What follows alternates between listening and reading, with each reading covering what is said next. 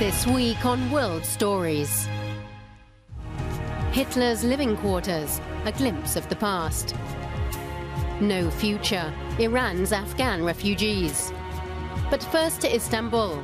President Recep Tayyip Erdogan calls it fighting terrorism, closing down newspapers and putting journalists behind bars. The heavy hand of censorship in Turkey.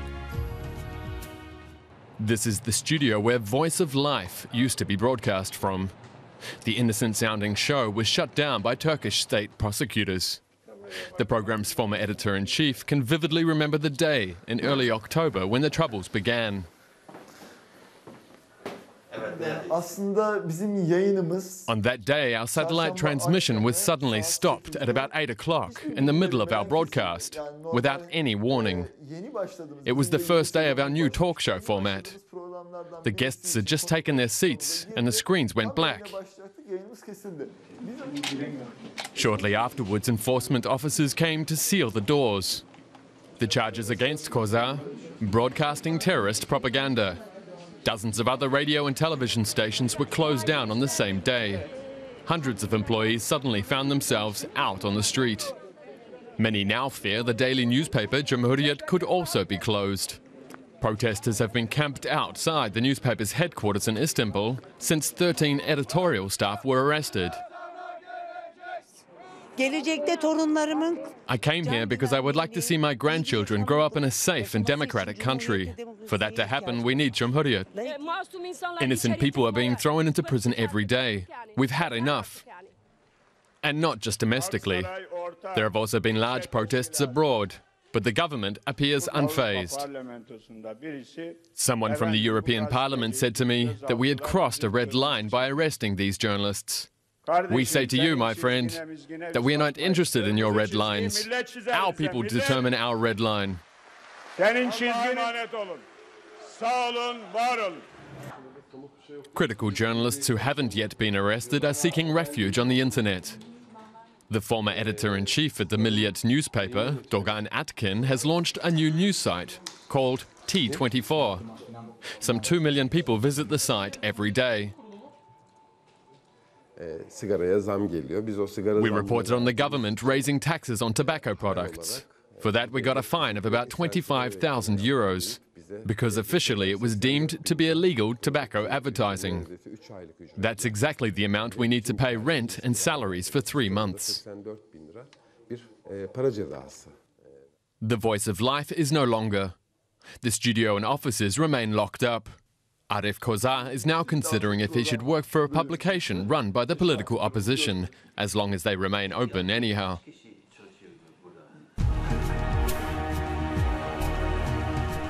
Iran is home to some 3 million Afghans. Too many, says the Islamic Republic. But the EU is planning to boost its aid to Iran in an effort to reduce the numbers trying to reach Europe.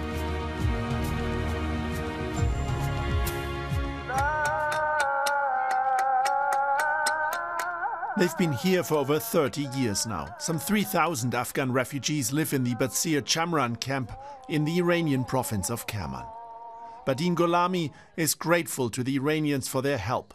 But the widow doesn't see much of a future in Iran. Her children have to work dangerous jobs. Her son broke his leg doing so. I was 10 when I got here. My kids have never seen Afghanistan. We don't have the money to travel there, and the security situation is so terrible that our relatives have now also fled to Iran. About 1 million Afghan refugees are registered in Iran. Many of them have lived here for decades. The situation is even more frustrating for an estimated 2 million undocumented refugees here who mostly work illegally on construction sites. But for about a year now, they've been able to send their children to school, partially in thanks to aid organizations and the EU. EU officials believe that if conditions for refugees in Iran improve, they'll be less likely to try to make the dangerous journey to Europe. But closer cooperation with Iran is essential. Christos Stylianides, the EU Commissioner for Humanitarian Aid, is convinced that refugees would benefit greatly.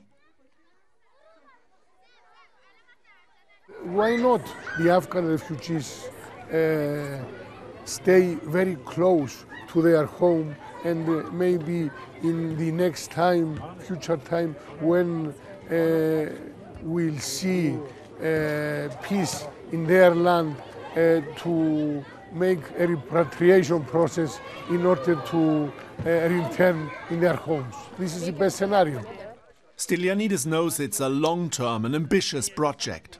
A slump in global oil prices, along with growing Iranian public discontent about so many refugees in the country, is putting local authorities under pressure.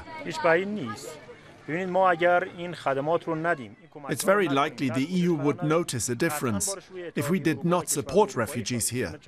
Last year there was a wave of refugees heading into Europe, but without the efforts of the Islamic Republic, it would have been even worse.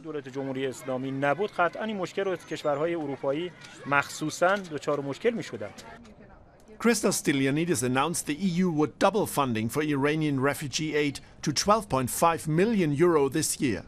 But that still isn't enough, because many refugees here continue to dream of making the journey to Europe.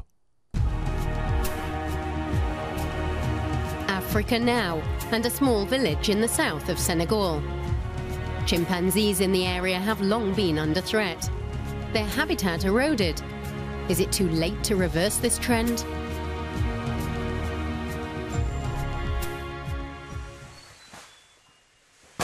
It's laundry day in Dindéfelo. Women have been washing clothes in the river for as long as they can remember, especially in the dry season when the village wells dry up and water is scarce. So packaging, and even old clothes are left in the forest. The community wants to change that and has declared Dindéfelo a conservation park. Karim Kamara has sensitized the village to the need to protect the environment. Twice a week, the women meet for a community cleaning action. Their aim, zero plastique, no more plastic waste in Dindéfelo. Some 50 women join the initiative. Despite their efforts, the women have yet to reach their goal. Plastic is everywhere. That's what we are struggling against here. We want people to use textile bags we have expressly ordered. But compared to how it was, we've taken a big step forward. Liliana Pacheco Ricote is a Spanish scientist who has been living in Dindéfelo for the past seven years, researching the habitat and behavioral patterns of the chimpanzees in the conservation park. She commends the work Karim Kamara has been doing. Every morning at 6 o'clock, Ricote sends rangers into the forest. They're looking for a pack of about 50 chimpanzees that have withdrawn because of the baboons. The rangers crisscross the forest the whole day without glimpsing a single chimpanzee.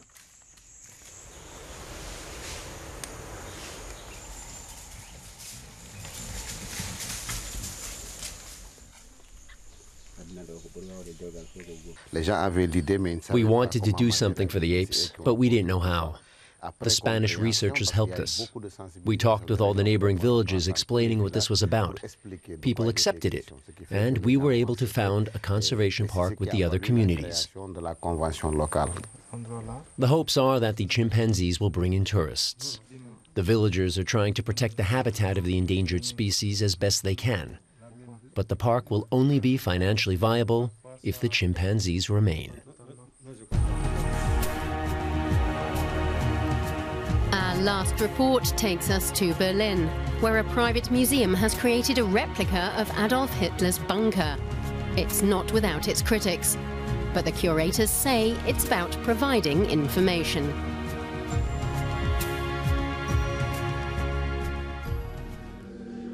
A replica of where the Nazi regime came to an end. The underground bunker where Adolf Hitler committed suicide on April 30th, 1945. The war he had started still raged on the streets above. Once the Soviets occupied Berlin, Hitler's bunker faded from history and was later destroyed. Now a new exhibition is offering insights into the Führer's last days with a replica of the dictator's living quarters. We're trying to demystify Hitler, debunk his legend after 70 years and present the facts. What remains is an insidious dictator who shot himself in a basement once it became clear that his enemies had beaten him. Hitler spent two whole months living in the shelter behind his chancellery in Berlin, along with his girlfriend Eva Braun. As seen in the German movie Downfall, the dictator's entourage still lived in surreal luxury. Meanwhile, the German capital was being reduced to ruins. Troops and civilians followed orders to keep fighting, many losing their lives in the process. The real location of Hitler's actual bunker is easy to miss. Visitors from around the world still flock to it, some with no clear idea of what happened here. It's the Führer bunker, right? That's all I know. I find everything about this period very, very interesting. About Hitler? yeah. Hitler played a key role in Berlin's history, that's why we want to see it.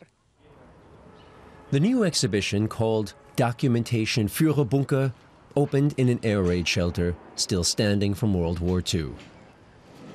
Visitors get a glimpse of Hitler's final days, but they also find out how ordinary people survived in overcrowded shelters at the end of the war.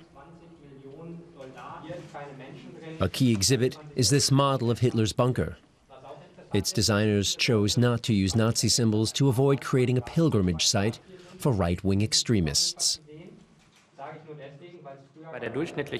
Neo Nazis don't want to see how Hitler shot himself in his bunker or hear me saying neo Nazis are idiots. They wouldn't enjoy our tours at all.